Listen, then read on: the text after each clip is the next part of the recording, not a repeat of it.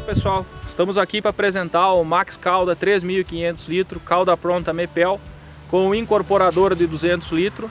né, onde nesse incorporador você faz toda a pré-diluição dos defensivos e depois transfere para dentro da esfera e mantém a calda pronta para o pit stop ser mais rápido no abastecimento, aumentando isso a, a, a rentabilidade né, e o rendimento do seu cruzador no campo.